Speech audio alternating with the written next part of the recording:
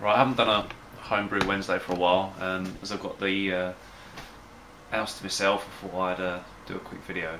Um, I'm brewing at the moment. I've got a brew in the bag on the go. Kind of a, a smash type beer. After seeing all the uh, smash off uh, reviews and that, it's got me uh, wanting to uh, do a little batch. Um, I kind of wish I did enter this year, but I don't think I'd have been able to uh, produce the amount of beer that was required to be sent out, and my equipment of late hasn't been working too great for me, so I've kind of gone to sort of basics and gone for a small scale brew in the bag at the moment to see what I can knock up. Um, I've got about 20 minutes left of the mash, so I'm going to just do a quick homebrew Wednesday, but this is on a, a Sunday, just so I've got something up to go up in the week. Um, brewed the um, SJ Pour beer with Hammerphone Brew and Brewmaster Ben. Um, Darren's in charge of all the footage for that, so I'm sure there'll be some footage uploaded at some point in the week. Um, I finally got my capper.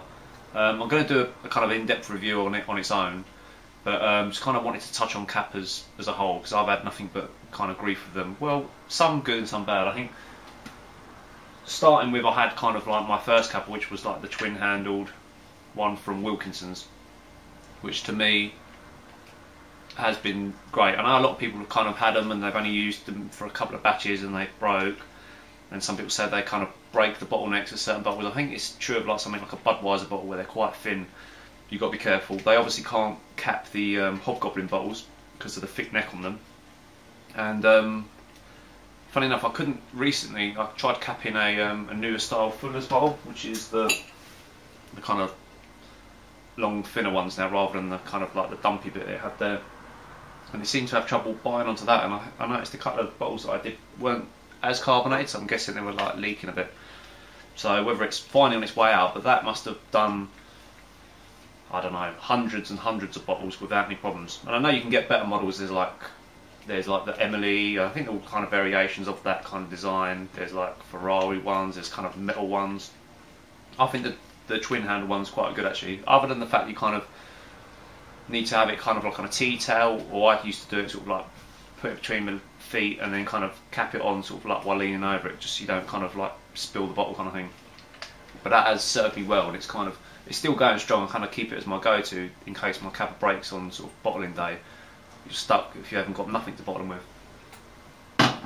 Um, before that, you do obviously get like these ones. I got this as part of a kind of kit, and I've seen people with kind of better made ones, but this one is so crudely made that I mean you've got to use a hammer with this, and in my mind, it's like I don't know how much these actually cost to buy on their own, but for the sake of that, which is a tenner, you buy something like that and you've got to use a hammer to put caps on it. just seems a bit of a kind of backward step. I mean, obviously, if that's all you had, that's all you had. But like, I don't know. I used it once, one bottle, just to see what it was like, and I couldn't even get it off the bottle after it was on. But this one does seem kind of real, sort of like crudely made. I've seen ones where there's kind of that's chamfered out a lot better and the kind of the cap sits in there just nice but this one is just wrong. I'm just so bad that after I've done this video I'm going to bin it anyway because I don't think I'd ever use it or even give it to anyone to use because I think they're just a travesty to, to capping I don't know why you want to, why would you want to put a hammer near your bottle anyway or the cap that's going on. It just it's just got disaster waiting to happen I think.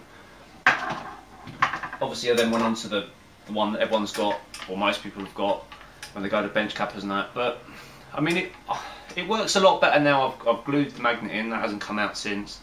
And greasing the bell, if you like, has kind of like helped it a bit. But I think even that on these is so crudely made that it seems to grip the cap once you've bottled it. So you kind of got to twist off or turn off when you're sort of taking it out. It doesn't let go of it once it's capped it.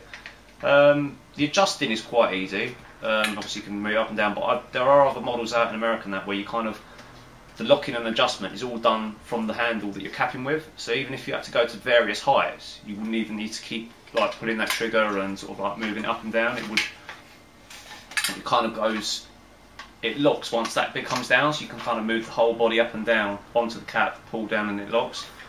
But I mean, it, it's done me well, but it's given me so much grief over the over the sort of like the past few bottling days that I've kind of almost given up to it. It got better, I think, once I glued that bit and then grease that. But even now, this kind of whole chamber seems to kind of slide out from where it's based.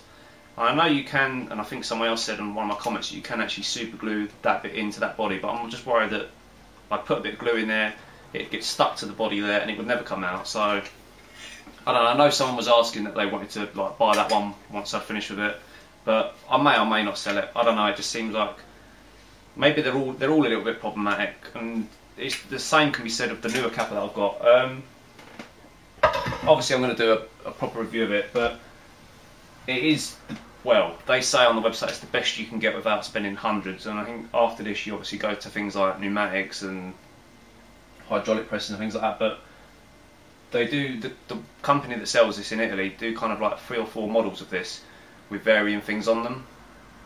But for me, it is kind of the best made that I've used. I think it will serve me for a long time, but it's not without its problems, and I'll I'll cover them on the uh, the video that I do of it. But it's it's better, it's faster, it didn't give me no problems once I kind of like rectified a few of the things and hopefully I'll be using it for years to come. So that's pretty much that. Um, I'm probably going to brew, try and get some bigger brew days in because of the warmer weather coming, brewing in the flat's going to make it a little bit warm so I'm going to go to mum's, do some bigger brewing there, kind of some 23 litre batches. Um, I sampled two of the latest brews I did. Um, there might even be a bit of footage on it on the, the day when we brewed the SJ Pour beer, but the Saison that I did, the Cooper's kit, that turned out really well, but it was a little bit strong for my liking. It's come out about 7.5%, and you can really get the alcohol hit on it, and it's it's not sessionable beer, but it's it's a good beer for a two can kit that you you kind of knock together. It's it's right up there, and I think that Belle Saison yeast is a really really nice yeast. So much so that when I finished, I um, used the Young's Harvest Pilsner kit, straight onto the yeast cake. Um, I put Cooper's number one in there. Um, what else did I do? I think I steeped a little bit of crystal malt. I think I even put made a little mash with some rye and things like that. Um, put a few hops in. I think it was Pilgrim and Pioneer. Um, did mess up a little bit. I meant to dry hop it for a few days afterwards, but kind of forgot. So then they only got like about four day dry hop, which didn't really add too much to it. But it's turned out, I think mainly because of the yeast, a really kind of sessionable beer. It's kind of, I don't know, a cross between a, a saison and a pilsner. I guess it's kind of, it's just very kind of creamy. It's got some sort of like a little hint of Bonari notes. It's got a little funky flavours in there. I didn't kind of ferment it too high. With the saison, I fermented about 28. With this one, I only fermented about 24, 25. But it's really sessionable. It's well, I've drunk about five, six yesterday. They just went. They're just, it's good. Uh, whereas the saison, I think that would be a bit of a have one of them at the end of the evening rather than two minutes at the start. So uh, I just bottled a bitter this morning. Uh, I uh, just wanted to do a basic bitter, kind of like a drink I can get in from work and have a couple without feeling too silly. Uh, the beer I'm doing today is going to be a 100% uh, rye beer. Um, it's going to be a copy of the basic brewing beer that they did with rye. I think they used uh, Citra, but I'm going to swap it out for Mosaic because uh, in the week I did a basic extract with Mosaic and it smelled great, just the, the smell of the hops. So it's going to be 100% rye with Mosaic. It's going to come out about 2.2% when it's done. Just going to see if I can make a really, really light alcohol beer with lots of hop flavour. Something I could, you know, where you could have many of without feeling too silly as well. I'm going to kind of really focus on the kind of lighter ABV beers, just so I've got a lot more kind of session beers to have rather than some of the stronger ones. Uh, I think that's about it for me. So I'm going to do the review of the capper after this. So cheers.